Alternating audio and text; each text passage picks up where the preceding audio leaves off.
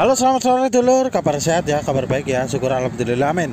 Sore ini saya ada kegiatan ini dulur, pengecoran borpile Diameter 1500 mm Kedalaman 36 meter dengan volume total konkret sebanyak 65 kubik.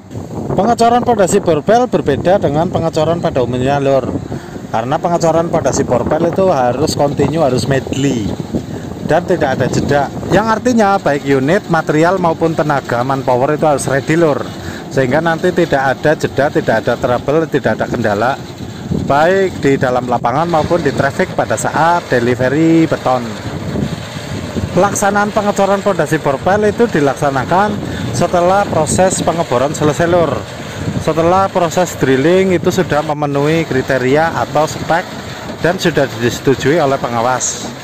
Kemudian setelah pengeboran selesai itu dilanjutkan pemasangan besi tulangan pada video yang lalu sudah saya buatkan video proses pemasangan tulangan besi setelah tulangan besi itu terpasang dan sesuai dengan elevasi yang tentunya sudah ditentukan dan sudah diukur oleh tim surveyor dilanjutkan pemasangan pipa tremilur Nah, di sini kita menggunakan pipa tremi yang diameter 10 inch. Sementara untuk panjang treminya sendiri disesuaikan dengan kedalaman bor.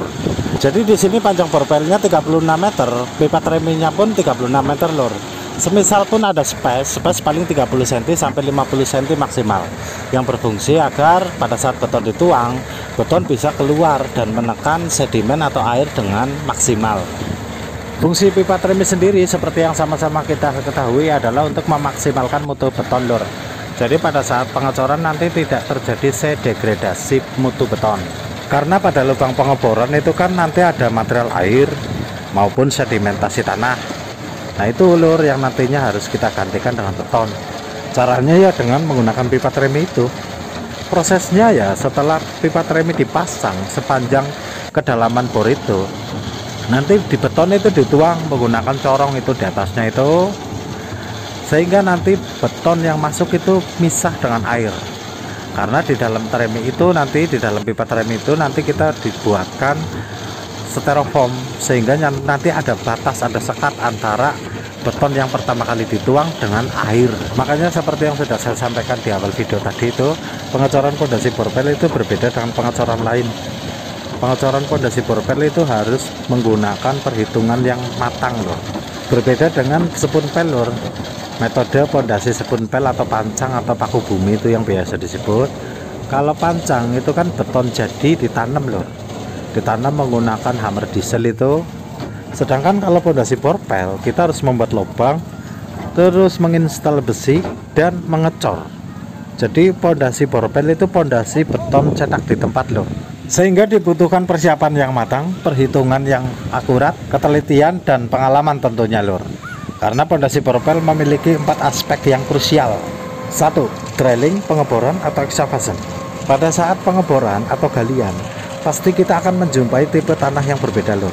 Jenis tanah yang berbeda itu pastinya akan berpengaruh pada cara treatment, perlakuan kepada tanah itu, bahkan sampai dengan jenis aksesoris atau peralatan yang digunakan seperti mata bor.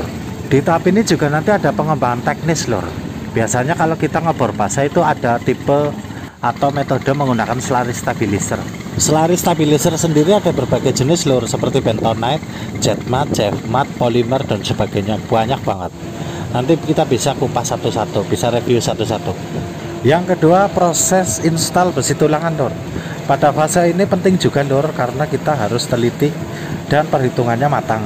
Kita harus ngecek juga ini besi tulangannya ukurannya pas enggak jarak sengkang begelnya pas enggak jumlah tulangannya termasuk ukuran besinya. Gitu loh sudah sesuai spek gambar atau belum pada proses install besi ini juga kita harus dipandu surveyor lor karena kita untuk menentukan jarak pada saat kita join menggunakan las sampai dengan pada saat besi diturunkan sudah sesuai level elevasi yang sudah ditentukan atau belum Ketiga, pemasangan pipa tremi atau install pipa tremi lur.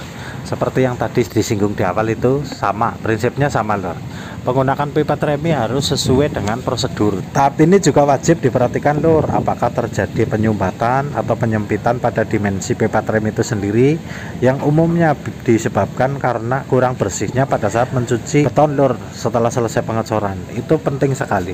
Terus juga pada sambungan atau joinan lur jangan sampai ada kebocoran. Karena nanti berpotensi akan menjadi macet lur. Akan menjadi kendala pada saat pengecoran sehingga betonnya ngeblok nggak bisa turun dan itu bahaya sekali kemudian yang keempat adalah proses pengecoran itu sendiri lur pengecoran itu sendiri sangat krusial sangat penting dan harus melalui proses perhitungan yang sangat matang baik dalam menghitung volume teoritis beton, memperkirakan ketinggian kenaikan beton sampai dengan pengukuran dan pemotongan pipa tremi.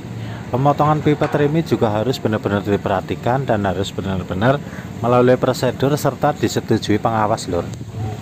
Karena sebagus apa pun proses pengeboran, pemasangan besi dan instal pipa tremi, jika pengecorannya nggak bagus, tetap saja lur hasilnya pun nggak bagus. Apalagi ini pondasi ya konstruksi bawah itu mutlak harus cakep harus benar-benar sesuai prosedur. Sehingga nanti pada saat diadakan proses pengujian beban atau tes baik itu PIT, PDI test maupun axial test itu hasilnya sesuai yang diharapkan saya jadi ingat ngendika mentor saya lor ucapan bijak beliau orang yang saya kagumi lah pastinya. Orang yang saya tiru perilakunya baik dalam pekerja maupun tindakan atau dalam memperlakukan orang lain. Beliau ngendika konstruksi bawah atau dalam hal ini itu pondasi. Porpel khususnya ya karena saya juga terlibat di porpel.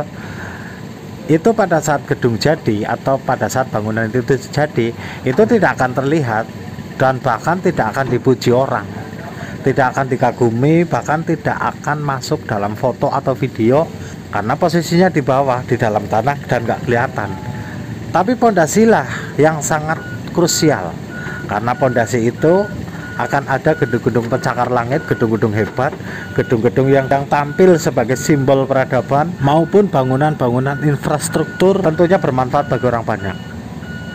Nah, dalam hal bekerja pun kita berusaha untuk seperti filosofi itu. Kita nggak perlu tenar, nggak perlu pujian, nggak perlu banyak dikagumi orang. Terpenting memiliki manfaat banyak untuk orang lain. Itu poinnya lur. Oke mungkin gitu dulu lur video kita kali ini ya. Besok insya Allah tetap kita update tetap rajin update lah untuk jenengan semua pokoknya. Yang informatif yang bermanfaat ya tentunya ya yang edukatif kalau bisa. Oke lur matur nuwun salam